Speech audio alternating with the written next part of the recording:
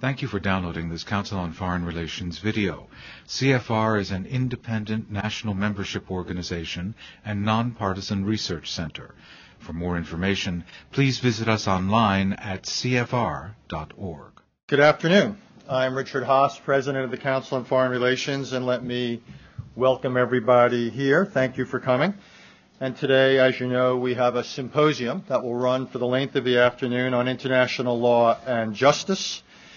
And obviously, in so looking at that, we will be look, taking a look at one of the pressing sets of international issues that faces this country and the world.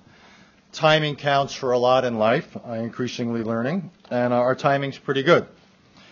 Uh, more fundamentally, international law matters, even for those of us who are not lawyers, because it is one of the things that makes a global order orderly.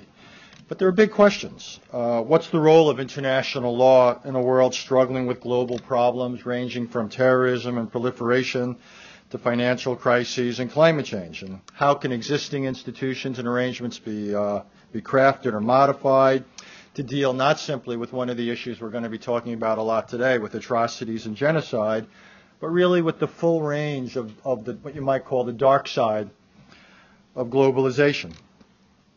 It matters because uh, how the world sees the United States acting on issues of international law affects perceptions of the United States. With that affects our standing and our stature in the world, our ability, therefore, to lead on a, on a range of uh, issues. So it's a, a, big, again, set of uh, issues. It's a big topic. We've divided it into thirds. Uh, as Wes Clark knows, uh, any issue that's related to public policy is always divided into thirds. Uh, there's never four options, never two options, always three. And that's because there's one that's outrageous on this side, one that's outrageous on that side. Then there's the reasonable middle course, uh, every bureaucrat's uh, best friend. Uh, what we've done, though, we have divided it into thirds to make it to make it manageable. Beginning with uh, this first session on the responsibility to protect uh, R2P for those of you who are collectors of acronyms. Uh, and obviously is the question of what to do about atrocities, what to do about genocide. But, but I, I think the issue is changing in ways that have made it more complex. Uh, how do we square the responsibility to protect with the realities of sovereignty? How do we build international support for ideas of responsibility to protect, given that countries like China and Russia, both of whom have vetoes on the UN Security Council, have a very different idea about it? And how do we build capacities to make sure that the rhetoric is more than just rhetoric, particularly at a time that the United States military is uh, stretched. Many international or regional organizations lack capacities and so forth.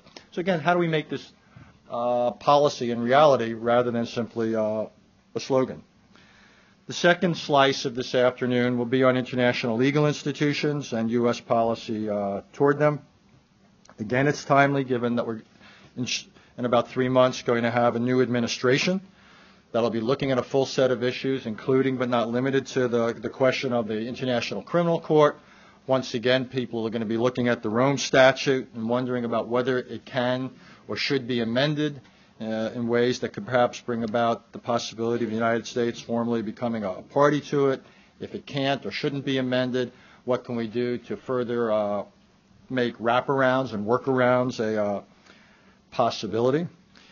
And then lastly, we're going to look at the case study uh, of Darfur, which in some ways is a, a, a useful manifestation of a lot of the things we're talking about here today questions of sovereignty, questions of capacity, the division of labor between or among the national, the regional, and the, the global, questions of justice. Uh, how do we bring perpetrators of crimes and atrocities uh, to justice? And it's particularly good then that we have uh, Luis Moreno Ocampo to speak about uh, all this. We couldn't do better than that.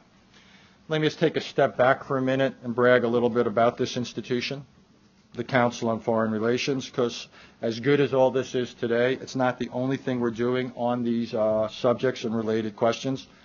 We've got a full plate of research, of publications, of meetings, of website coverage and all this.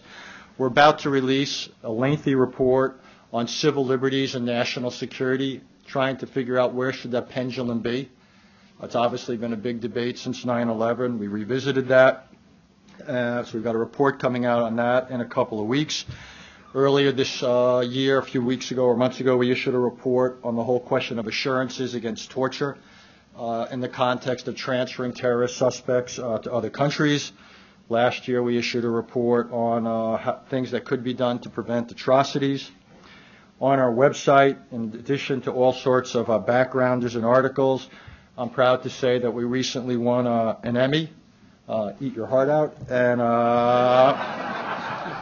the for our crisis guide on on Darfur. it's one of the four guides that we've so far released, one on Korea, one on the Middle East, and just yesterday there's a new crisis guide out on climate change, which is extraordinary. And if you haven't spent any time on CFR.org or spent time with the interactive crisis guides, you really should. They are uh, not just unique, but as they say in Washington, very unique. Uh, work on that. Uh, We've also just launched here a new five-year program on international institutions and global governance headed by uh, Stuart Patrick, made possible by the Robina Foundation. The whole idea is to look at the gap between global challenges and global arrangements. And I would actually argue that it is one of the most pressing and arguably the most pressing foreign policy and intellectual challenge facing the 44th president and those around him. If global issues are the cardinal or signature challenges of this era of history, the gap between the institutions, rules, and capacities in place, uh, the gap between the challenges and the capacities uh, needs to be closed. And yes, we've got to deal with all the urgent problems of the day, but more history will be written about this ultimately, I would think, than just about uh, anything else. So again, uh, this symposium is part of a, a, much larger set of efforts that we have. It would not, however, have happened without the Jolie Pitt Foundation. So let me thank uh, all those associated with it, including Angie, for uh, all that she's done and for being here today. Uh, and also then in the aftermath of this afternoon, uh, what we're also going to do is produce a report that deals uh, with some of the intellectual and political issues that, that come out of this. Let me just say that everything this afternoon will be on the record. So everything or anything you say can and will be used against you. It will be webcast around the country and the world on CFR.org. If you've got electronic devices uh, on, I ask you to switch them off. Uh, even vibrate can mess around sometimes with the communication systems. Uh, it'll also help your blood pressure because this way you won't be seeing what the market is doing. So you will emerge not just smarter but uh, healthier from the afternoon if you turn off your uh, your your your gizmos. Let me now turn things over to uh, David Scheffer. David uh, is, a, I think, one of the preeminent scholar practitioners in this area. He had uh, an extraordinary, uh, at least distinguished, and important run in the State Department during the uh, previous administration, during the Clinton administration. He's now a professor uh, at Northwestern University. He is going to help steer us through the first of what I am confident will be three uh, remarkable sessions. So again, thank you for uh, your interest in coming here, and uh, thank uh, let me thank also the distinguished panel, the first of three, to uh, be sharing their wisdom with us today. David, over to you. Thank you, Richard, very much. Um, I'm going to make some uh, very, very brief opening remarks, then very briefly introduce our speakers. You can see their full bios in front of you as well as on the web for those who are watching by webcast. Let me just briefly say for our webcast audience that uh, I'm a law professor at Northwestern University School of Law, director of the Center for International Human Rights there, and the former ambassador at large for war crimes issues in the Clinton administration. So let's begin. As the domestic and international economy implode, other man made catastrophes continue to ravage wide swaths of the global landscape. We meet today to confront once again the reality that genocide, crimes against humanity, ethnic cleansing, and war crimes, what I call atrocity crimes, have kidnapped the lives of hundreds of thousands, indeed millions, of innocent lives around the world and consigned them either to death or unimaginable suffering. The victims of atrocity crimes require our attention, they require our action, and they require justice. This challenge is perhaps best exemplified today by the choice that confronts the Security Council with Darfur and Sudan President Bashir. ICC prosecutor Luis Moreno Ocampo seeks the arrest of President Bashir for genocide and other atrocity crimes. ICC judges are deliberating over his application. The Security Council is weighing whether to block the judicial process or let it proceed. At stake are two relatively new principles the responsibility to protect civilian populations from atrocity crimes, a principle the United Nations General Assembly endorsed in 2005, and the end of impunity, as symbolized by the establishment of the International Criminal Court and the hope it embodies to deter future atrocity crimes and hold accountable the leaders who still believe in mass slaughter and ethnic cleansing as means to govern. Darfur tests both propositions. The Security Council initiated and now must fully implement both a peacemaking endeavor that includes a military presence under Chapter 7 Enforcement Authority in Darfur, the UNAMID operation, and the Council's own 2005 referral to the International Criminal Court of the Darfur situation and the need to bring those responsible for the atrocity crimes there to justice. We have been here before, juggling peace with justice in the Balkans and in the fragile aftermaths of atrocity crimes and civil war in Rwanda and Sierra Leone. And now Kenya presents a similar challenge regarding the fate of military officers implicated in the post-election violence of last January. Today, the ICC also confronts the challenges in Uganda, the Democratic Republic of the Congo, the Central African Republic, and in its preliminary review of violence in Colombia, Afghanistan, and yes, Kenya. In my own experience, I believe it is a balancing act that must be attempted, indeed must be accomplished, but it remains a highly contentious battle among policymakers, and I am certain here today among our distinguished speakers. And finally, at the center of all of this are the victims. They seek justice, indeed retributive justice, but they also need peace, stability, and fulfillment of what my former boss, Secretary of State Madeleine Albright, would call the simple desire to live normal lives. Now, I want to introduce our first set of speakers. As you know, here at the Council, we usually just have a, a give and take. What we're going to do today is everyone will say a few, uh, uh, a, a, few remarks uh, uh, to begin this discussion. Then we'll open it up for uh, questions and discussion with the audience. General Wesley Clark, to the left, my former colleague, is the former NATO commander and Supreme Allied Commander Europe and former presidential candidate. He was a key architect of the Dayton Accords and the military leader who led a humanitarian intervention to save Kosovo in 1999.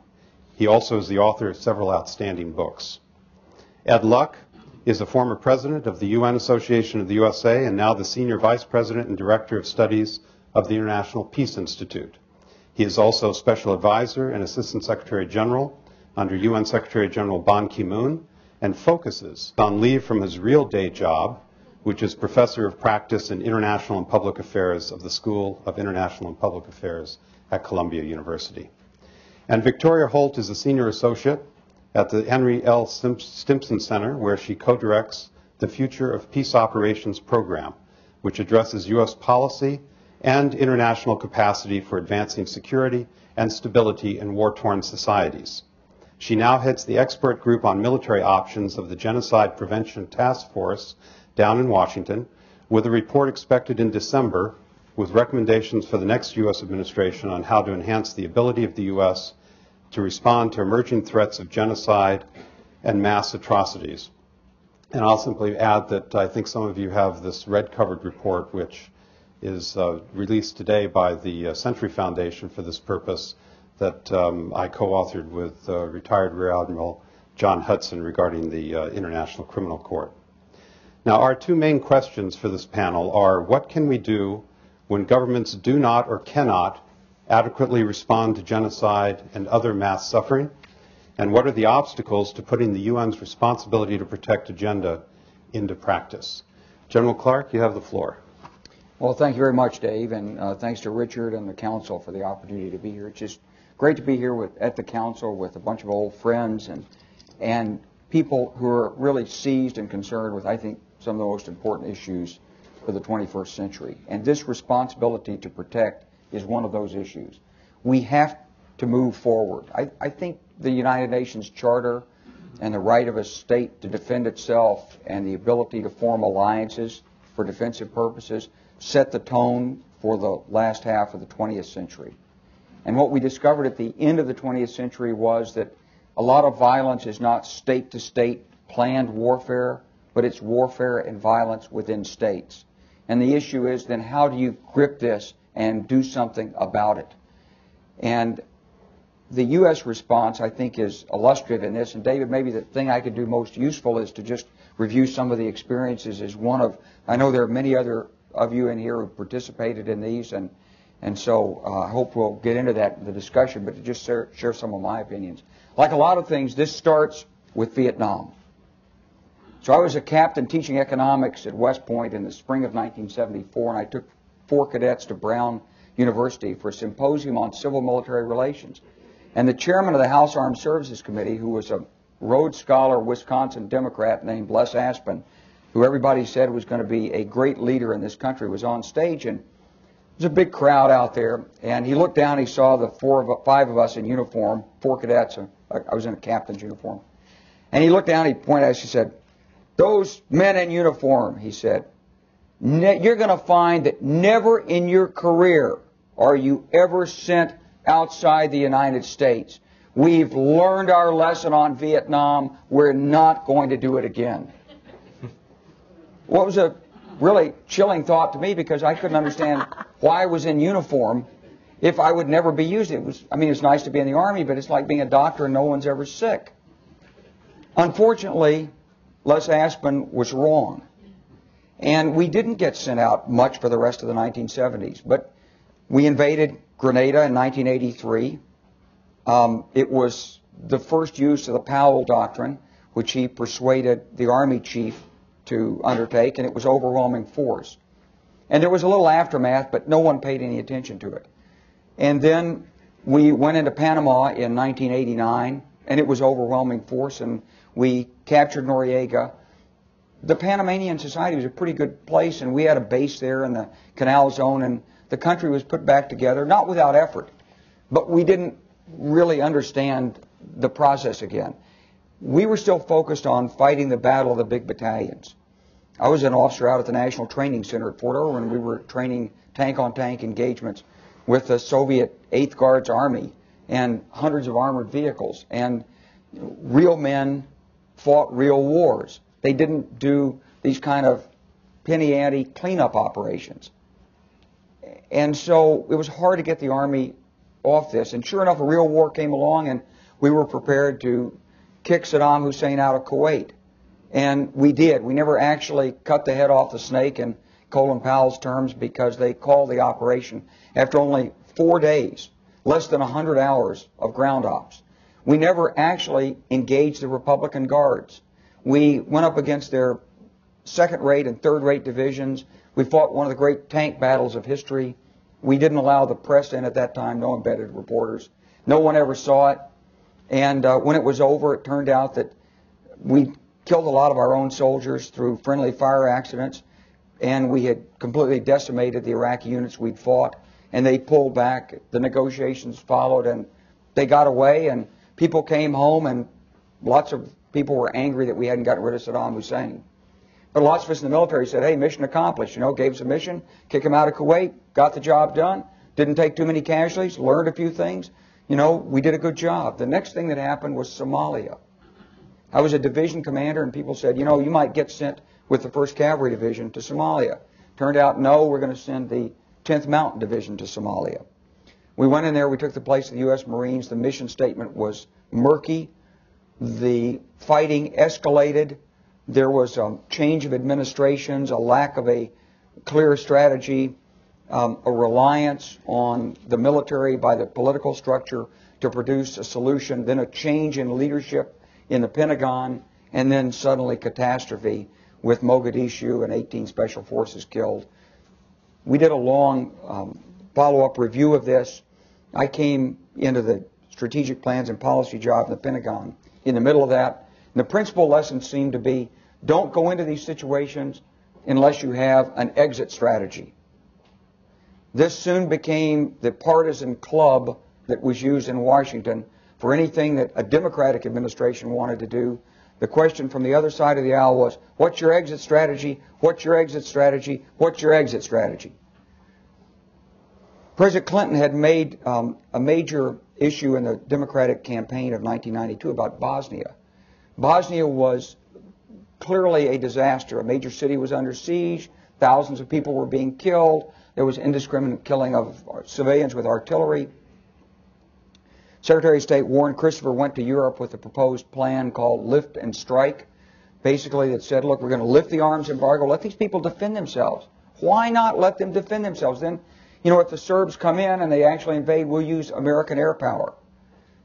Well, the Europeans already had 30,000 troops on the ground. And they were there in the situation. They didn't like lift and strike because what it meant was they were going to go from a peacekeeping situation to an open warfare situation. And they weren't prepared to do it. So we got no support. So we spent another two years after that trying to craft a diplomatic strategy Finally, uh, Tony Lake, as a national security advisor, created this strategy. Richard Holbrooke assembled a team. I was privileged to be part of that team along with a lot of other good people. And we went over and began the negotiations that brought an end to the fighting. We established a principle in the peacekeeping that we would have first strategic consent. So you had to get all the top political leaders, all the parties had to sign up. This was the key to intervention strategic consent.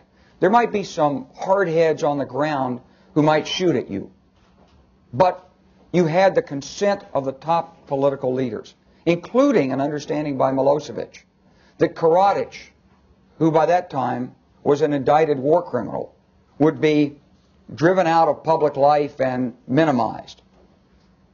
We had not confronted the issue of whether or not we would arrest these war criminals that was viewed to be the responsibility of the state's parties at the time, including Slobodan Milosevic. Um, the second principle beyond strategic consent was that you would give the mil- military the authority to do whatever was necessary, but you give them the responsibility to do as little as necessary. This was the opposite of the UN formulation, in which the military was responsible for everything but was authorized to do nothing. So the military always got blamed, but couldn't they couldn't move, they couldn't shoot, they couldn't return fire, they couldn't call an airstrike without it going all the way back up to New York in the middle of the night and and, and someone trying to call someone out of a dinner or something, and it, it didn't work. So we turned the principle on its head. We made the military authorized to do anything. We called it a silver bullet clause. The Serbs, Milosevic, swallowed it with great reluctance, but he ultimately swallowed it and we got strategic consent and real authority on the ground. And going in with lots of troops, we put 20,000 U.S. troops in on top of the existing UN force, reflagged it all under NATO. There were no hardheads. Not a single U.S. soldier was killed. There was an exit strategy. We promised we'd be out in 12 months. Of course, most of us didn't really expect we would, and the leaders who went to Congress and promised it had to go back and eat crow because we couldn't get out in 12 months. It turns out when you're trying to deal with hardened opinions, it, it takes a while. But we did begin the drawdown several years later, and U.S. forces are totally out of Bosnia. There's no war, and no American soldiers were killed in combat we had a problem starting in 1992 with a portion of Yugoslavia known as Kosovo. And this was during the Bosnia campaign. It was the twilight of the first Bush administration, and it appeared that serious ethnic cleansing and real open warfare was going to take place between the fiercely loyal, family-oriented Albanians and the Serb basic occupiers of this part of, of Yugoslavia. And the Bush administration issued what was called the Christmas warning, which essentially threatened Slobodan Milosevic with dire consequences, bombing, if he proceeded to attack the Albanians. By 1998, the Christmas warning had worn off. The Albanians were restless under a program which was essentially a, uh, uh, exploitative colonization by the Serbs. And they began to resist. And we went in to try to negotiate. We could see that if we had another war in Kosovo, there'd be no saving Bosnia from renewed conflict. And so we undertook a strategy of coercive diplomacy. We told Milosevic that we wanted him to undergo negotiations and settle this with the Albanians without force. And if he didn't, there would be consequences. And over a period of nine months, we ramped up the consequences. During this time, we also began to capture war criminals in Bosnia. We actually collected information. We targeted people. We used special operations forces and other forces, and we snatched them. And we delivered them to The Hague. It was revolutionary. It was frightening. And the Serbs tried to intimidate us in response. Most of the people arrested were Serb. But the intimidation didn't work, and we continued to do it. And despite the trepidations of a lot of people in authority, the exercise of strength in a situation like this creates its own strength. And the appearance of weakness and hesitation undercuts the authority and legitimacy of the mission. So we weren't the UN, we were NATO, we did take strong action. And subsequently in 1999, after nine months of futile diplomacy, when Milosevic began an ethnic cleansing campaign, NATO followed through and acted and began 78 days of an air campaign, which would have been followed by a ground campaign, if necessary, to force Milosevic to either comply to the international accord and agreement that had been offered on Kosovo or to pull all his forces out. In the end, after 78 days, we broke his will and he pulled out. I guess the lessons of all this are A, you do need an exit strategy. You have to think through where you want to be. And in Kosovo and the Balkans, we did that. We put the diplomacy before the force. We got the highest level of legitimation we could get from the United Nations and or from NATO and ultimately the United Nations endorsed the ending of the campaign in Kosovo. And we were more than neutral. We walked a fine line between maintaining strategic consent and also standing up for the underdog or enforcing international law and doing the right thing. We didn't stand back. And when looting happened, we didn't say boys will be boys. That's just what's going to happen. We took strong action.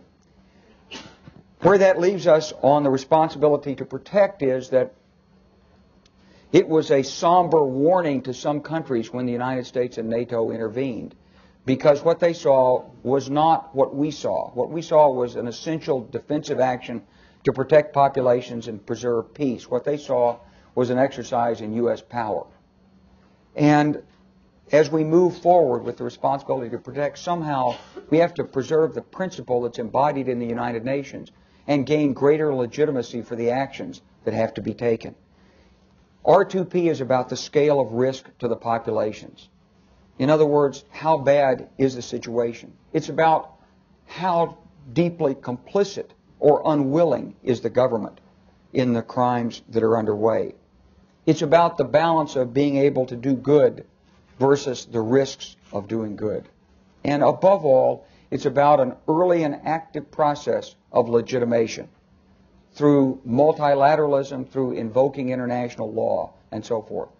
I came out of my experiences over the six years I worked in the Joint Staff and in NATO and in the U.S. Southern Command as a strong believer in international law. It has an incredible deterrent effect. Every order that Karadzic, the Serb president, the Bosnian Serb president, gave to General Mladic, however bad the orders were, they always included the paragraph, nothing in this is to, is to contravene international law. You must obey international law. Wink, wink. But it was in there. He knew. He knew we were coming after him. And Milosevic was very cagey during this period. He was careful what he said. He was careful what his relationships were with the Serbs. He tried to maintain deniability of his relationship to Mladic and so forth. It was all about the deterrence, and this deterrence, it did, um, it did serve to impede the ferocity of their actions. It's not complete deterrence because the certainty of indictment wasn't there, the certainty of arrest wasn't there, the certainty of prosecution and conviction wasn't there. But I'll tell you what did happen on the 25th of May when the 1999, when the United States indicted Slobodan Milosevic for war crimes. He was finished. His goose was cooked. That was the end. It wasn't the bombing alone. It wasn't even the negotiations alone. Once he was an indicted war criminal, that was the end of the game. He could no longer call up his buddies, ask foreign ministers to come in, cut a deal. He, he would he'd bring two or three foreign ministers in. He'd play one off against the other because he knew that someone was going to want to go out of there and get credit. I've saved peace in Bosnia again. I don't know how many times in the early 90s we saw this play as people would go to see Milosevic come out. I have met the demon and conquered him, and he has agreed that he will call off his tanks or something like this. And once he was indicted, it was over. So international law is a very powerful weapon. I testified in the war crimes trial of, of Milosevic, and I can tell you from my personal experience that um, the trial was important, it was precedent setting, but it was also uh, a lot of lessons being learned. We can't allow the degree of theater in the future. We've got to have a closer connection between the crime and the certainty of indictment, arrest, prosecution, and conviction. Assembling 50 charges that expand over a 10 year period and bringing in hundreds of witnesses to have thousands of hours of quibbling in a courtroom is less effective in terms of deterrence than having two or three charges, a half dozen witnesses, and the certainty of conviction um, at the end. And so I hope that as we move forward in this process, that we'll be able to move in that direction.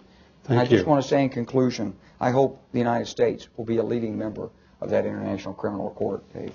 Thank you very much, General. Um, Ed, I want to turn to you now because you're on the front line in the United Nations with the responsibility to protect principle. If you could say a few words and then we'll, we'll turn to Tori. I must say that the front lines that I'm on are the diplomatic, political front lines, not the real front lines that General Clark knows so much about. Uh, but I thought I might talk a little bit about uh, the responsibility to protect as uh, it's being developed at the United Nations. Uh, and I think uh, General Clark's remarks, which much of it was about humanitarian intervention on the military side, uh, really is a very good prelude for this. Because what we had in the 1990s was a debate about humanitarian intervention. And Kofi Annan was very articulate about posing the sort of stark choices between doing nothing or sending the Marines. Uh, and that didn't go very well uh, with most of the member states because they saw that as a formula for the big, powerful countries intervening in the small, weak ones. They saw it as a formula from the north that wasn't particularly uh, acceptable in the global south. Uh, so he didn't get very far, and the General Assembly basically rejected his ideas in September 1999. So then they went back to the drawing boards, and he, with the Canadians, uh, put together a panel, which eventually came out in 2001 with the report on the responsibility to protect, uh, and led by Mohamed Sahnoun of Algeria uh, and Gareth Evans of Australia. And what they said was really there has to be a range of alternatives. Uh, that it's not enough to think of this as a binary uh, situation where either uh, you do nothing or you only have a military option, because quite frankly, that's not really morally acceptable. Uh, because the only time you would actually invoke a military op- uh, op- option was when the bodies were piling very, very high. It'd be late. It'd be reactive. It really would not be acceptable. The idea that you would intervene militarily very early was really politically quite unlikely. Uh, second of all, it really didn't talk about prevention. Uh, what you really want to do is not react after the fact, but very early on, try to do things with the societies, with the regional organizations, uh, with civil society uh, within the various places to try to prevent uh, a country from going down that path in the first place. Uh, and the old thing that uh, an ounce of prevention is worth a pound of cure is definitely true when it comes to humanitarian issues. So now with new Secretary General Ban Ki-moon and with, as David pointed out before, armed with the document from 2005 summit, where all of the leaders of the world, heads of state and government, uh, agreed on two rather meaty paragraphs about the responsibility to protect. And now we have a new Secretary General who says, well, this is great on paper. How do you make it actually uh, turn out to be an action? And so he asked me to help him put together the pieces. And basically, what we're arguing with the member states, and they actually seem to be reasonably responsive, is that we actually have three pillars here. And the first pillar is the one of state responsibility. Uh, it's not something that you can pass off to the international community.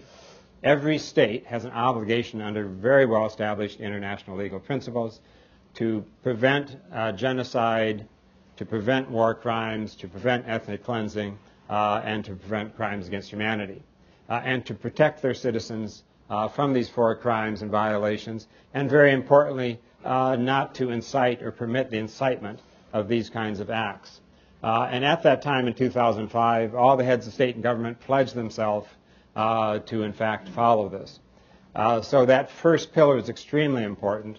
Uh, we don't think that all the talk about international intervention or international diplomacy should detract from the fact that it is first and foremost the state's responsibility. Uh, and we don't think this is in any way uh, an invasion of sovereignty or it somehow is a, a clash with sovereignty. That, in fact, sovereignty uh, requires responsibility. This is fundamental for a state. It's one of the reasons why a state to begin with was to protect people, not for the government, in fact, uh, to be the biggest enemy of its people. Uh, and I think this is widely accepted now uh, within the organization. We don't hear as much talk about uh, that we're somehow harming sovereignty with all of this. And we argue that, in fact, we are the allies of sovereignty, uh, not its enemies. It's only weak states that actually conduct these kinds of activities against their own citizens. So the first pillar is critical. But there is a second pillar, and this hasn't been appreciated very much. There are a lot of things that the international community can do to work with societies to make sure they don't go in this kind of direction. A lot of things about good governance, uh, security sector reform, uh, various kinds of monitoring and other ways to make sure that human rights are protected, that there's tolerance of minorities, that there's transparency, uh, it's really in very autarkic uh, societies that try to close themselves from the rest of the world that you're most worried about these kinds of things. Uh, and so we think that through the development work of the UN, the work of the Peace Building Commission, uh, looking at states have been through these kinds of traumas, make sure they don't happen again, much of the work in, in peacekeeping. Uh, there's many things that the UN can do. It's involved in many, many countries day after day around the world to help them not go in this direction. Uh, and also for early warning. Uh, the UN, civil society, any number of organizations represented here have people out in the field. So the question is getting this information, analyzing it, and seeing if there in fact is a pattern of activities that might lead to these crimes and violations. And to be sure that information, that assessment, goes directly to the Secretary General and then through him or her to the Security Council or other bodies. Now there is a third pillar, and that's many ways I think what uh, General Clark was talking about. Uh, but the third pillar of response in the outcome document from the summit, they call it timely and decisive response. That isn't necessarily always a military response. It may be diplomatic. It may be political. It may be the Security Council itself uh, doing an investigation. Uh, that doesn't have to have a threat to international peace and security the, under the Charter. All sorts of circumstances they can do investigations. It may be getting regional organizations uh, to work, sort of regional to regional cooperation, state to state uh, cooperation. Uh, there's a wide range of things. Even in the military realm, it might be a preventive deployment, uh, like we had in Macedonia, where you put the troops there first before you get these kinds of crimes and violations, rather than after the fact. Uh, that's sometimes uh, something that's quite acceptable. There are cases where the government is not the problem. Uh, you look at Sierra Leone. you look at some of the problems in the Democratic Republic of Congo, where in fact you need UN and international forces under a coercive mandate but not to fight the government, but to fight the rebels, because they're the ones who are committing the atrocities. They're the ones who are cutting off the limbs. They're the ones who have to be stopped. So there's a wide range of things that the UN can do to help governments to meet their responsibilities, even in a very robust kind of way. So what we're telling the member states, there are three pillars. They're all equally important. You don't sequentially go from one to one to one. You do an early, uh, rapid response, uh, a very flexible response, depending what's needed the circumstances of each case. So you have to have a very adaptable and flexible system uh, to do that. Uh, so we're saying it's a very narrow definition. If the member states think we're going any far farther beyond this, for example, uh, when, when certain foreign ministers suggested that the problems in Myanmar after the cyclone Nargis uh, was a question of responsibility to protect, we had to say, well, we're sorry, as defined in 2005, it's not that that's a terrible thing. For human rights and other reasons, you might want to try to encourage the government to be more responsive, but it's not what was intended in 2005. Recently, another member state invaded a small neighbor called Georgia. uh, and uh, said somehow this was because of the responsibility to protect. We have to say, no, that is not what's intended. It's a narrow definition, just those four crimes and violations of genocide, war crimes, crimes against humanity, and ethnic cleansing. But if we can make an ounce or two difference on that, it would be an enormous difference historically. So we're keeping it narrow, but we're saying it's narrow but deep with this wide, wide range of things that could be involved in it. Uh, and we're reassuring the member states uh, that we really are on their side because the UN would not be effective unless it has very strong states. And strong states are those that respect the rights of their citizens uh, and don't try to close off their society uh, to the rest of the world. Now, finally, I should say politically, we're not finding this to be a north-south issue. Uh, one of the problems with the, the, discussion of humanitarian intervention, it was put in north-south terms. That is not going to win you many votes in the General Assembly. The 192 member states, most from the developing world. In fact, our way of thinking about this, this didn't come from the north. It came from the south.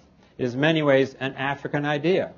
Uh, first with ECOWAS in West, Western Africa, and then with the creation of the African Union in 2000, they have very similar ideas. Uh, in the Constitutive Act for the African Union, uh, under Article 4H, three of those four crimes, they now have a philosophy of non-indifference. Uh, before that, with the uh, Organization of African Unity, it was non-interference, but now it's non-indifference. We have to care what's happening uh, to our neighbors next door. We can't do it individually, but collectively through the AU, we have not only a right but an obligation to intervene with three of those four crimes.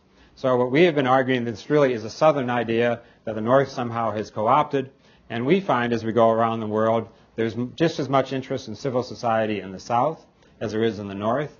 There's just as much ambivalence about this idea in the North as there is in the South.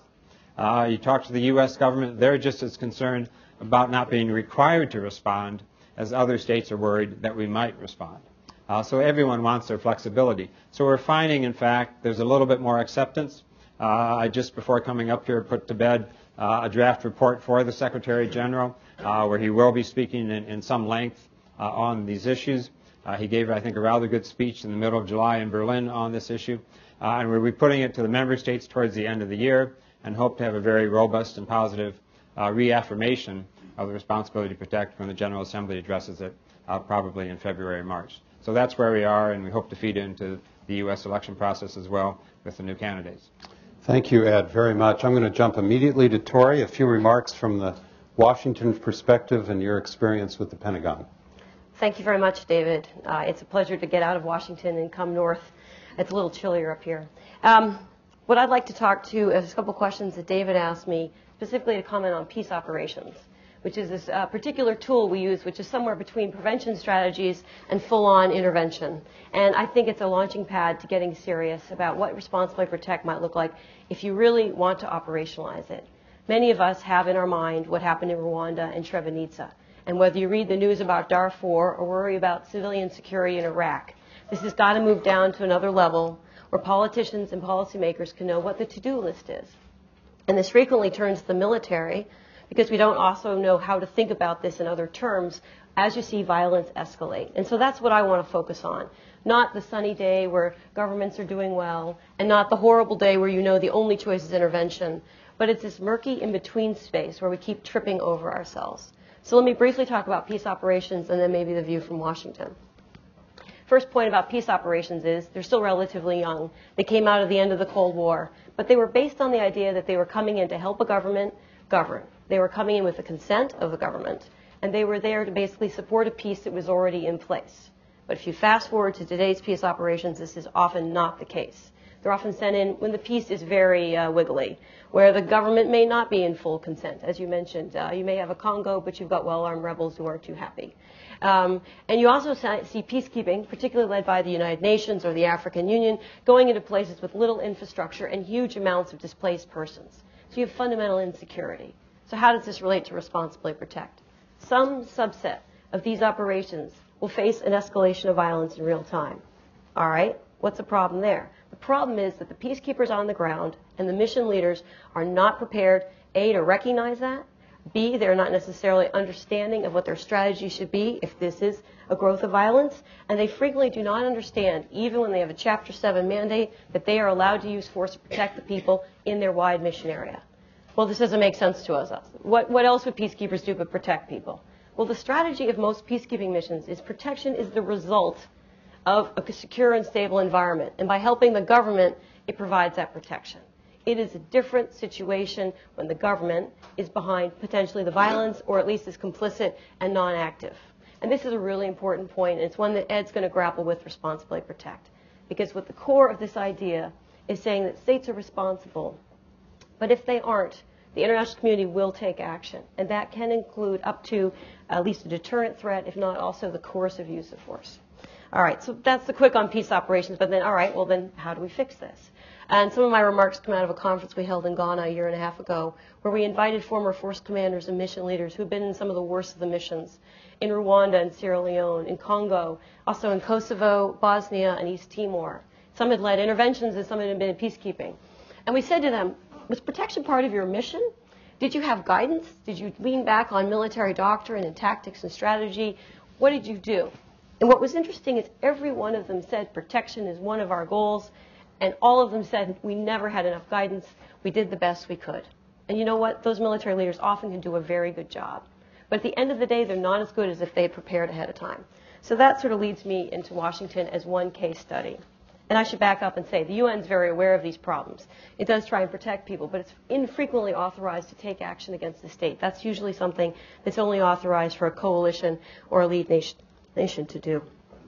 We've just finished with the Genocide Prevention Task Force in our own research, trying to look across the scope of the U.S. government at how good are we at early action, long-term crisis prevention, immediate crisis response, the range of military options, and the international institutions that we work with. And I recommend you all to read that report in early December when it comes out. Um, but I could say a couple things that we know otherwise, which is that the U.S. government in general doesn't have on its bookshelf humanitarian intervention or prevent genocide as a core mission. I, I would ask the general. In general, this is not something that we anticipate as a fundamental mission for our military. It's not that we can't do it. It's not that some president may not call up, but it's just not something that's considered a primary goal. What do I mean? We prepare well for combat operations. We've moved into looking at counterinsurgency. We certainly now have increasingly looked at stability and peace operations. We certainly can do evacuations. So all of those have pieces of what a mission to go protect civilians in another place might look like and can inform a mission like that. But we don't actually have people who've sat down and said, if our goal of a mission is to stop this escalation of violence first, or if the UN gets overwhelmed, come in and replace and back it up, how is that different than other missions? It is different because the focus there is on the protection of the civilians and stopping potential belligerents. So quickly back to Ghana. We did a simulation with these generals and colonels, and it was interesting. A number of them argued, and this is a good conversation to have, when their mandate says to protect civilians and there's an escalation of violence, they didn't know if that meant stay by the, inner, uh, the camps where the refugees and displaced persons were, or can we go after the belligerents? I can't answer that today, but that's the kind of question that we need to sort out ahead of time. So back to our own planning. This is fundamentally a political question, but the reason we should look at how the military options range is because ultimately military people will be asked to prepare plans. And at this point, even though the national security strategy for the United States in 2006 references that where mass killing uh, defies all attempts at peaceful intervention, we will, on a case-by-case basis, consider, I think it's more coercive measures, including intervention with, with uh, allies or with other international institutions. Um, if we want to do that right, we want to start early. You want to know before the escalation of violence happens how those indicators work and feed that into who's ever on the ground and you want to know the difference between doing a small observer force that might be successful in tampering down violence and having to park a carrier off the coast of a, of a nation and then potentially deploy into it. So despite the national security strategy, we are not yet aware of, of any particular plans that back this up, a particular doctrine and training. So that would be on the agenda for the next president. That, uh, that this good intention that I think is quite bipartisan, that both candidates have embraced, uh, could be translated into more serious political guidance from our leadership and inculcation, both within our military as well as within our uh, State Department, our preventive strategies, to link up better this potential strategy. And then second, to reach out to the international organizations, certainly the United Nations, but I would add to that list NATO, the European Union, the African Union, and ECOWAS, because all of them on the front lines, all of them say they're willing to take on missions to prevent this escalation of violence and to protect civilians. Um, but since the U.S. is in the lead often on doctrine and training and leadership preparation, and we've also looked at these international organizations, there's not much evidence that anybody has this right yet. So, as the person who likes to come up with to-do lists, I would put this on our to-do list. And I'm optimistic because I think if we put the brain power in this room alone to this task, many of us could come up with some plans and beat them up. This doesn't have to be rocket science. We just have to focus on it a little bit better so that Ed's agenda on prevention will succeed, but in the cases it doesn't, we're a lot better. And we know earlier that we need to take another set, of steps. So. Tori, thank you very much. And I think it, it confirms what I always saw in government, that when you have the direction from the top down, it makes an enormous difference in the policymaking discussions that take place outside of the Oval Office. Uh, we are going to open it up for questions now. I'm not going to throw my questions out. I want to ask the audience. We have until about, oh, 2.15, 2.20 or so. Uh, and I know many of you may have some questions that you'd like to pose. So I'll open it up and I'll point to various people. Yes, right here. Peggy. Yes. Hi, Peggy Hicks with Human Rights Watch. Peggy Hicks with Human Rights Watch. Um, Ed, I wanted to follow up on the point uh, that the Secretary General has asked you to look at what the UN could do to make this R2P principle a reality, and ask specifically what types of tools are at the UN's disposal that, that you would recommend. For example, one thing we've looked at is, as you said, the need for information. If you're going to be able to get in there before, as Tori says, things escalate, you need the information on the ground about what's going on. And if you look at a place like Georgia, which was brought up earlier, there was no reporting coming out about the human rights abuses in the midst of that conflict and the violations of international humanitarian law. So, how can the UN be in a position to field human rights monitors, people with ex- experience in looking at international humanitarian law violations, and get that reporting out both as a deterrent and to put the groundwork in place to be able to take um, other steps as needed, as was done, for example, in Nepal? Yeah, a very good question. Um, I think if you want the right answers, you have to ask the right questions. And what we want to do with R2P is get it mainstreamed across the UN system. Because the UN has a huge, as you know better than anyone with, with Human Rights Watch, the UN has a very large human rights constituency around the world. They have about a thousand people uh, out there. We have about a thousand people with humanitarian affairs. We have more peacekeeping operations in more places than ever before. We have more political missions in more places than ever before. Uh, groups like yours, Human Rights Watch, uh, International Crisis Group, the, the, amount of non-governmental information is extraordinary and often more candid. Uh, so the problem, I don't think, is information. Uh, but in some cases, you're right, they're not asking the right questions, and uh, we saw this in Kenya, for example. Uh, Kenya is the only place where the UN has actually applied R2P as a standard, as a strategy. And it worked out reasonably well, but it's something people should have foreseen earlier, that after the elections there would be problems. We like to think elections are great, but elections are very destabilizing in some parts of the world, and people knew that this was going to be a very troubled one. Um, and yet, as I understand the reporting coming into the UN from its own people uh, on, on the ground, was sporadic. And one of the problems is that they were looking at it in various pieces, and no one was looking at it all together. Uh, the UN, not unlike the U.S. government, uh, is a collection of, of fiefdoms. And uh, they each have their own channels uh, for information. Uh, there are probably five or six different sort of situation rooms around the UN, from every place from UNICEF to humanitarian affairs to human rights uh, to political affairs, but they don't talk to each other very much. So our feeling is that these kinds of crimes are political. Uh, they are humanitarian. They're social. Sometimes they're economic. Uh, and they're certainly human rights. And so you can't have this captured by any one piece of that because you have to see all the different perspectives.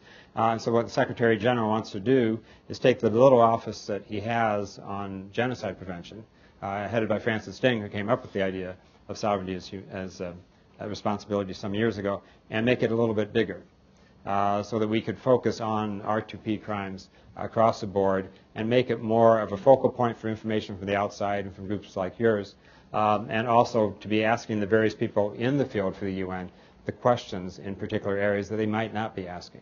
So I think it has to be more centralized in terms of analysis. It has to be, I think, a little more open and transparent to the non-governmental sources of information, and it has to have more direct access to the Secretary General and through him to the Security Council.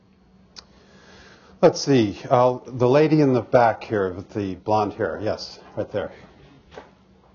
Thank you. Janet Benshoof, Global Justice Center.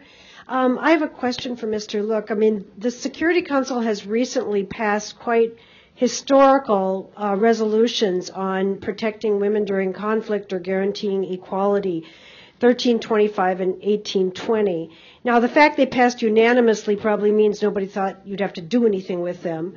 Um, but uh, sort of how we put sex into Title VII in the United States. And but my question to you is: Have you considered how those resolutions could be made more legally enforceable? Because some parts of them do include legal terms, and combined with the responsibility to protect to require, and since they are um, on the Security Council themselves, to require, for example, not just military intervention to protect, but let's say jettisoning a uh, report of gender crimes that is endemic to into a Chapter 7 resolution for an ICC referral.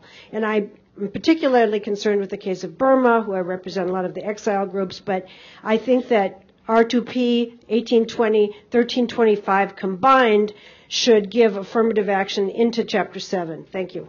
Yeah, a very good question. Uh, we've actually found some of the better responses we've gotten around the UN bureaucracy, and they haven't all been wildly enthusiastic, but some of the more uh, positive ones have been from groups like UNIFEM, uh, UNICEF, others that have these concerns. Uh, uh, related, the uh, special advisor for the children in armed conflict. Um, and so what we find is they all have issues they want mainstreamed in the Security Council and in the peace and security work of the UN. And for us, uh, whether it's children or sexual violence, these are things that are often either precursors or important indications of a, of a wider uh, kind of violence. So we think it's extremely important. Obviously, ethnic cleansing, often women and children uh, bear the brunt of it um, and also with crimes against humanity. So for us, this is sort of a bellwether issue, and, and we're very eager to be part of a means of getting this at a higher level and, and uh, get more attention to it. In terms of making it legally enforceable, uh, that probably requires Chapter 7 resolutions by the Security Council, uh, maybe with some, with, with, some real teeth. I mean, uh, the, the, children issues, women's issues, others in the Council, many of the humanitarian issues, uh, have not had that component. They've been sort of goodwill kinds of resolutions. But I think uh, when Tori was talking about protection and how you go about protection issues, uh, this should be central to it. Uh, you know, particularly uh, we've seen this in Darfur and other places. How do you protect the women when they go to get water and this, that, and the other thing? And how do you protect children from being kidnapped, become child soldiers? I mean, this is fundamental uh, to what one is trying to achieve when you try to humanize security in essence. Uh, so we would encourage the council, perhaps even to have a working group on responsibility to protect. I'm not sure they're all wildly enthusiastic, but they have one now on children armed conflict, and this might be a way of doing it. And we would see the, the sexual violence issues as fitting very, very closely uh, with R2P issues. Let me just quickly add, I've had the opportunity to work with UNIFEM on this, and two just small steps. One is to make sure that every peacekeeping operation that goes out there has a gender law counsel associated and attached to that peacekeeping operation so that that individual keeps his or her eye on these issues in the field. And then secondly, the incredible importance of making sure that national laws are properly amended and revised in order to bring more and more women's rights and children's rights issues into domestic legal enforcement. Uh, and that's, that's another big step that has to be accomplished worldwide. Um, John Washburn. Thank you. Uh, I'm the convener of the American NGO Coalition for the International Criminal Court, and this is a question for uh, General Clark. It's about current Defense Department attitudes and senior officials' attitudes, both to the court and to the larger question of responsibility to protect. But first of all, General, I'd like to say thank you very much for your repeated affirmation of support for U.S. participation in the International Criminal Court in public and on the record, and we'll make good use of it. Thank you. Uh, uh, the uh, about to be used. the uh, the question is simply this: We know from our connections and also from public statements from the campaigns of both candidates that their attitude on the International Criminal Court and also on responsibility to protect uh, is one of a cautious desire to separate themselves from the positions of the Bush administration on these issues and at the same time an acute desire not to get into trouble with the military. Uh, I wanted to ask you what you think they will find when they ask current senior military people uh, about these issues and what answers they should be ready to give.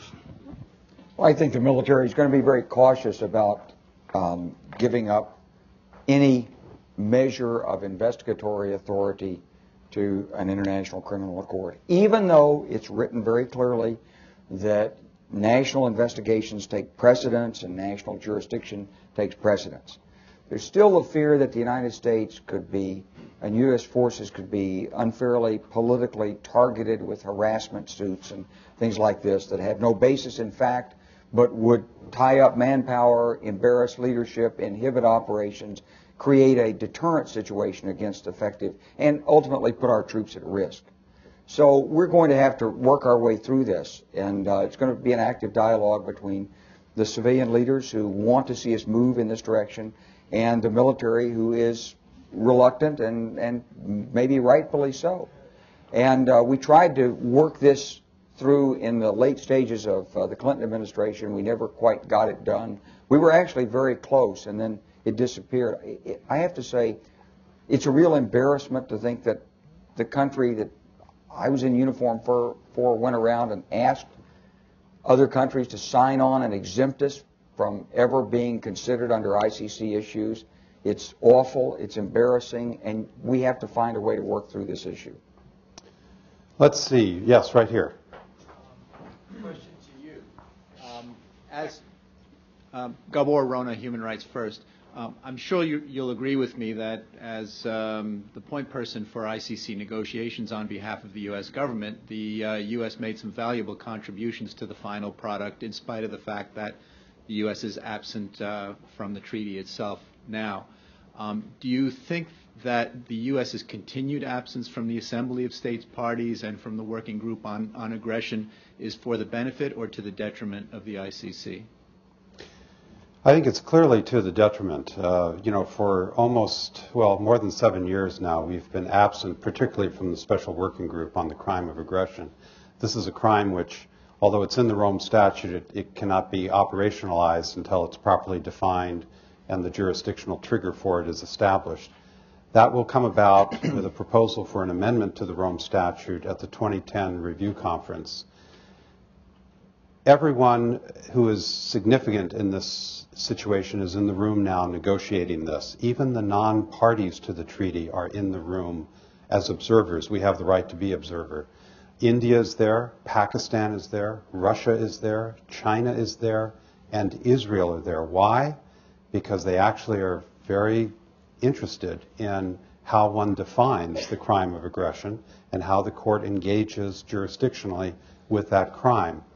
And they are speaking very vigorously in these discussions. Um, we simply have been AWOL from them ever since 2001. So I think it's extremely important for us to be there, and I think it's good for the International Criminal Court that the United States reappear, because frankly, if other major non-party states are there, it's even more reason for us to be there as well. There's no reason for them to essentially hijack the discussion in our absence. We have major equities at stake because of our global deployments in how we get this right.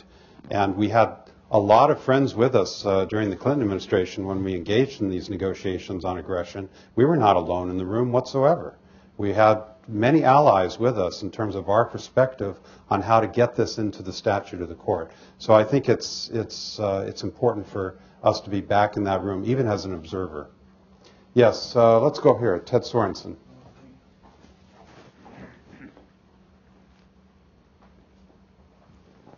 It's a wonderful panel. Uh, my question is for uh, General Clark, though um, I have no doubt that the moderator and all the members of the panel might have some views. It's uh, said that a uh, prisoner on death row uh, is feared by the guards because he has nothing to lose from another act of murder. Are there not situations where to indict a leader will prevent him from ever participating in negotiation and may even worsen or redouble his war crimes or aggression? Well, Ted, that's certainly the. I, am certainly not second guessing the indictment of Milosevic. Well, that was the question, and this was a very controversial indictment. Um, Washington was, broadly speaking, against the indictment. They saw it as adding fuel to Milosevic's fire and his determination to resist. Um, I, I, I, took a, a, different view on it, and um, and I told the prosecutor that I, I believe that that ultimately um, you gain strength from international legitimacy. You gain international legitimacy by being on the side of justice and and ethical behavior and the rightness of these issues and that for the United Nations International Criminal Tribunal not to have indicted Milosevic when the evidence was there would be a form of complicity with with um, with wrongdoing. It would be a form of weakness, and it would encourage him to resist. Whereas indicting him would be a show of strength and would discourage him from further resistance. And um, maybe this was because I'd spent, you know, hundreds of hours negotiating with Milosevic that I could see what the impact would be. And maybe it was particular in that case. I wouldn't say that the consideration you raise is something you should never think about. But I think when you weigh it on balance, it's very hard to say that you're willing to have your service members risk their lives for a principle, but you're in, afraid to enforce the principle by the power of law. And so for me, it goes back to something I worked on with Colin Powell a long time ago, which is don't ever commit American forces to fight unless you have a plan and put the resources in to succeed. And once you do, make sure you do succeed. And that means all the resources. The weight of U.S. diplomacy, the weight of economic power, and most importantly, perhaps, the weight of international law. And so for me, it was a pretty easy choice on the 25th of May. I'll just go to more questions now. Uh, Larry in the back, and then I'll go over to the left there.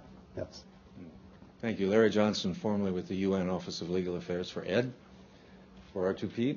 Uh, clarify for me exactly how this would work in practice, your prevention functions. What government in its right mind is going to let UN people in its territory running around asking for information with the end result being they're going to be a list of potential genocide states. Why would a government let you in to do that? Unless, of course, they want you to go after militias. But if, if the problem is they will be targeted, why would they let UN people in? How are you going to deal with that? Persuasion, uh, pressure from the big boys, naming and shaming like human rights. So help me out on that. Yeah. Well, first of all, we don't think we should only deal with the states in deep trouble. Uh, we think we should deal with states that are doing well to learn their positive lessons and encourage state-to-state sort of learning process.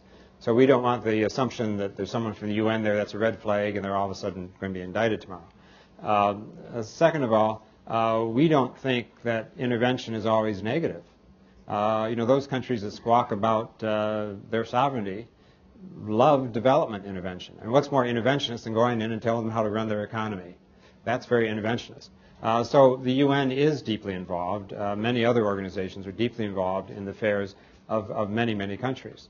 Uh, and it's a natural course. You take, for example, the Peace Building Commission, looking at countries that have been through traumas of one sort or another, trying to put the pieces back together. That's a point where you have a lot of access and a lot of leverage in those states. And among the first choices of countries that the Peace Building Commission is looking at, are Sierra Leone and Burundi, two countries that have had their share of, of, of traumas in the past. Uh, so we think that this is actually fairly natural. Uh, I think the question is, what is the attitude do the UN people bring? You know, is it sort of accusatory, uh, or is it really to be helpful? Uh, we find there's no state that claims that it wants to commit any of these four uh, crimes or violations. Uh, you know, there is no caucus for genocide uh, in the UN. Uh, people may commit it, but they don't want to be associated with it. You know, it's, it's known this is a bad thing. So you, you don't come in, you know, wagging your finger and accusing, but you say, we want to help you because you may want some help. And if it's, let's say, a, a mainstream development program, we want to go to the donors and say, look, you might target certain things in that society. Uh, you know, help build up the courts, uh, help build up the human rights institutions. Uh, look, as David pointed out, I'm glad he remembered it, uh, that you want to look at the legal structure in, in, those countries. Is it reflecting these kinds of international conventions and values or not? Is there any kind of judicial redress? Uh, what about, you know, treatment of minorities and other things? So, you know, you look, for example, at the High Commissioner uh, for National Minorities that the OSCE has had in Europe.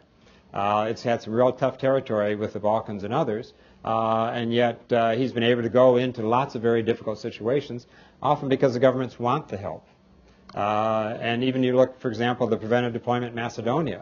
That was the case with, you know, an old communist leader in a new era who saw these trends in his country and said, I'd like to have an international force here to help uh, keep us from going down that road. Because if you look at it, you know, it's not just a lot of people killed in these things. You know, you're ruining the economy.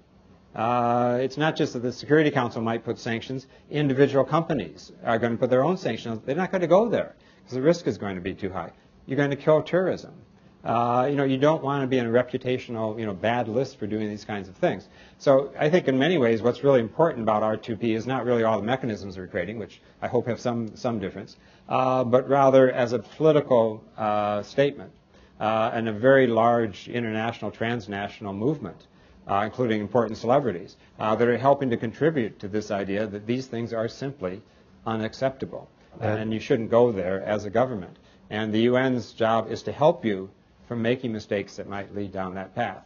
Because if you think the only path to, to your political viability is through genocide, you're in big, big trouble. Uh, and you know your society is in big, big trouble. Uh, so we see this as an assistance mission to help states do what they should want to do uh, for themselves. Thanks, Ed, very much. One very short question and short answer, and I'm going to go back to the fellow in the blue shirt uh, back here. Yeah, right there. Hi, uh, my name is Jared Genser. I'm a term member of the council and a human rights lawyer. Um, I actually want to ask about the worst case scenario uh, situations, uh, cases of frozen conflicts uh, such as Burma and North Korea, where there are widespread, ongoing, systematic violations of human rights that I believe can very rightly be ca- called at least crimes against humanity. And wondering the panel's view about does the responsibility to protect offer anything for the people of those two countries uh, who, you know, the UN has tried for decades to try to do something to alleviate their suffering, and the human rights and humanitarian violations, and yet the international community is really frozen itself in trying to figure out how to intervene in those countries. Uh, so I was I was interested in that question. Right. Tori, do you want to take that on? I think this is an area where I'm not going to touch the political question. I'm going to talk about the operational piece because, in a sense, the challenge Ed has in selling this idea about prevention is the one you raise, which is if Responsibility to Protect looks at this particular class of mass violence, genocide, crimes against humanity, how do you actually prevent that stuff? And that's really hard to sort out from just general uh, conflict prevention, crisis response, which is why all our heads start hurting when we start thinking, well, what does this actually look like, right? So I actually think that's a research agenda and it's an operational agenda that we need to pull out. And there's some things we can know early on about it, um, which I'm not an expert on. but it would lead to where you have the response problem. And I don't know if somebody else wants to take the specifics of North Korea, but in general, I don't think it's been seen in the R2P framework um, at all. So. Yeah, I, I, actually we had a conversation about this the other day, but I recall. Um, I don't think it was the intent of the assembled heads of state and government in 2005 to include these kinds of cases. Um, that doesn't mean there aren't any number of other reasons to intervene. If you don't call it R2P and there's chronic, deep human rights violations, that's still something of deep concern to the international community. Um, but uh, we don't think that they meant those kinds of situations. Um, we do feel that engagement with those societies over time might be of some help um, pointing out to those leaders the economic costs and other costs to their society of continuing those kinds of, of practices uh, something we certainly want to point out to them. Uh, as you know, the Secretary General did go to, uh, we have to call it Myanmar, uh, to Myanmar, uh, Burma, uh, after the cyclone to help push the door open a little bit. but very importantly, I think in those situations, and not just the UN, but the neighbors uh, you know, whether ASEAN countries or China or India in, in the case of, of Myanmar, Burma, uh, of, of, South Korea, China, very importantly, uh, Russia, the U.S., uh, Japan, others on North Korea. Uh, some of these some of these societies take a long time to change, uh, and you know, one tries one kind of kind of effort after the other.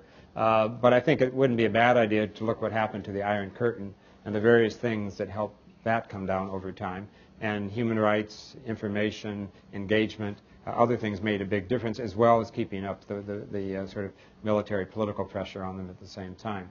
Uh, you know, there are states that have not even reached the 20th century, much less the 21st. And they're still trying to have these huge walls between them and the rest of the world. Uh, we have to break down those those walls, and it's largely a, a question of values and information and engagement, I think. And you have to keep working at it, but we're not going to call it R2P. We can't call everything in the UN R2P as much as we'd like to. Uh, we're not quite that ambitious. Thank you very much, Ed. I want to thank the uh, Jolie Pitt Foundation and your presence, uh, Angelina. I think my children are still in shock that I'm in the same room with you. Um, but um, I do want to thank everyone here, and uh, particularly the superb cast of uh, speakers and all of your expertise that you brought to bear. We have another panel to go to, so thank you very much. Now. Thanks, Dave. Good job. Thank you. Thank you for watching this Council on Foreign Relations video. For additional audio, video, and transcripts of CFR meetings, as well as expert analysis of international news, please visit us online at cfr.org.